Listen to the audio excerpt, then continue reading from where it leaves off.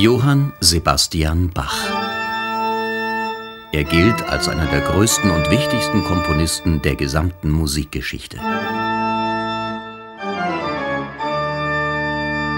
Die Musik ist geistreich, sie ist packend, sie ist in ihrer Aussagefähigkeit einfach, es sind im richtigen Moment die richtigen Noten.